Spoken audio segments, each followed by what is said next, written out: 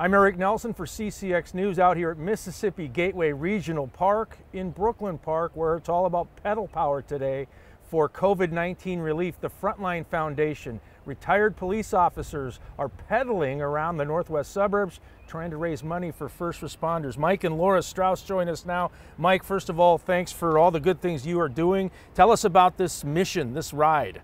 So, uh, the Frontline Foundation is supports uh, fire first responders, EMS, and National Guard. Uh, so we come alongside families that have lost a family member, um, and to this point, over the last couple years, has been 13, and those are the 13 that we're riding for, just to raise awareness and to continue to raise funds to support those families um, when they're dealing with that tragedy. Laura, both you and Mike have been in the law enforcement business. So how's the fundraising going?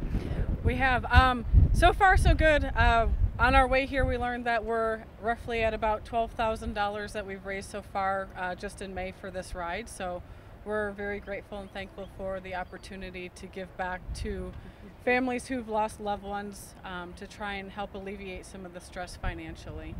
And this is win-win because because of COVID-19, people are cooped up, it's getting monotonous, you need to get your exercise, so you guys yep. are also out on the trails getting some fresh air. Yes, absolutely, it's great. What was the motivation to do this, Mike? Um, I, th I, think awareness was the big one, just for people to understand, you know, these, these heroes that we've lost and, and, just to not forget them. Um, I think that's very important. What are you seeing out there when you're riding, Laura? Uh, we pass a lot of families. Um, we pass a lot of uh, people out getting exercise. But the most important thing is we like to read the history of each person that we're riding for prior to our ride. That way, while we're out, we can think about them, uh, the sacrifice that they made, um, and maybe how it affects their family, but how it affects Minnesota as a community.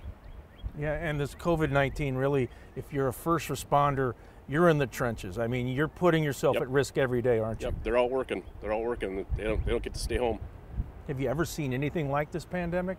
I haven't. It's um, it's a, a daily thing. It it um, changes on a daily basis. So we're trying to be flexible and follow the rules, and and in the same time give back to people who are very deserving of it. Finally, Mike, how can people donate?